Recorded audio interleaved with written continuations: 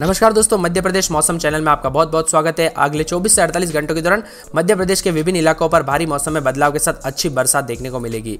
तो कौन से ज़िले में कितनी बारिश होगी, कब आपके यहाँ पर गर्मी से राहत मिलेगी, पूरे के पूरे मध्य प्रदेश के सभी जिलों की मौसम की जानकारी बताऊँगा। अगर आप भी जबलपुर, कटनी और भोपाल, सीधी, बड़वानी, ग्वालियर, धार, उज्जैन, हरदा, शिवपुरी, मंदसौर, रायसेन, शाजापुर, विदिशा, श्योपुर, अशोकनगर, सतना, गुना, खंडवा, डिंडोरी, होशंगाबाद और सिंगरौली, उमरिया, रामगढ़, देवास, भिंड, सागर, नीमच सहित अगर कहीं पर भी रहते हैं पूरे मध्य प्रदेश में।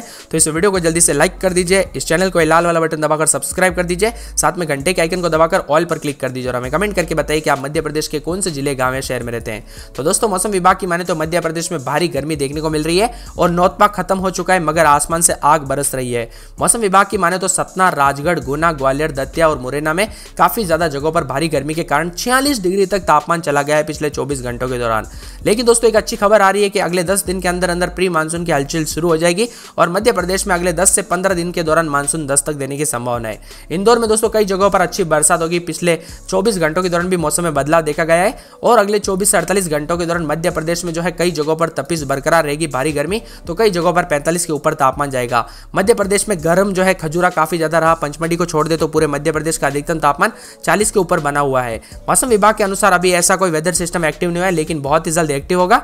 और मौसम विभाग की माने तो पिछले 24 घंटों के दौरान मध्य प्रदेश में मौसम शुष्क रहने के साथ ही खजूरा, नौगांव, ग्वालियर, दतिया में लू का प्रभाव रहा। शेडोल जबलपुर, सागर, भोपाल, उज्जैन, ग्वालियर, संभा के जिलों में अधिकतम तापमान सामान्य से अधिक बना हुआ है और मौसम विभाग का पूर्वानुमान कहता है कि सागर, संभा के जिलों में तथा सतना, राजगढ़, गुना, ग्वालियर, दतिया, मुरैना जिलों में लू चलने की संभावना है। मौसम विभाग का दृष्टिकोण कहता है कि आगामी दो दिन में तापमान जो है और परिवर्तन के साथ रिकॉर्ड किया जा सकता है और उसके साथ ही अधिकतम तापमान में दो से चार डिग्री की गिरावट आएगी दो दिन के अंदर अंदर मौसम विभाग के आंकड़ों की बात की जाए तो 40 डिग्री के ऊपर तापमान के साथ ही जो है 45.6 रिकॉर्ड किया गया खजूरा में, ग्वालियर में 45.5 नौगांव में 45.4 दमोह में 44.6 सागर में 44.4 राजगढ़ में 44 उमरिया में 43.8 टीकमगढ़ में 43.6 के करीब तापमान रिकॉर्ड किया गया। अगले 24 घंटों के दौरान भी मध्य प्रदेश में भारी मौसम में बदलाव देखा जाएगा। भोपाल, इंदौर, ग्वालियर, जबलपुर, खंडवा सहित तेज बादलों की वजह रहेगी, लेकिन बारिश की संभावना अभी भी जो है ना के बराबर बनी हुई है। एक एक ज़िले की बात की जाए तो दोस्तों, अगले चौबीस घंटों के दौरान कटनी में बादल छाएँगे, पूरे एक सप्ताह तक बादल छाएँगे और भोपाल में भी पूरे एक सप्ताह के दौरान इकतालीस माइनस के करीब तापमान रहेगा और भारी बादलों की वजह रहेगी।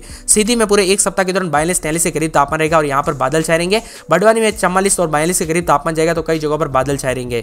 ग्वालियर में पूरे एक सप्ताह के दौरान भारी बादलों की वजह देखने को मिल सकती है। धार में पूरे एक सप्ताह के दौरान चालीस इकतालीस के करीब तापमान जाएगा तो भारी बादल छाएँगे। उज्जैन में पूरे एक सप्ताह के दौरान चालीस इकतालीस के करीब तापमान जाएगा और बादलों की वजह रहेगी। हरदा में चार दिन बादलों की वजह है। शिवपुरी में बादल छाएँगे तीन दिन। मंदसौर में पूरे एक सप्ताह के दौरान चालीस इकतालीस के करीब तापमान रहेगा। रायसेन, शाजापुर, विदिशा, श्योपुर, अशोकनगर, सतना, गुना, खंडवा, डिंडोरी, होशंगाबाद, सिंगरौली, उमरिया रतलाम, राजगढ़, देवास में भी इकतालीस के करीब तापमान जाने की संभावना है। और साथ में देवास, छतरपुर, अलीराजपुर, बुरहानपुर, भिंड, सागर, नीमच, दतिया में भी उतार चढ़ाव लगातार जारी है। तो यह था आज का मौसमी सिस्टम। वीडियो पसंद आए तो वीडियो को लाइक ज़रूर करना, चैनल को सब्सक्राइब ज़रूर करना।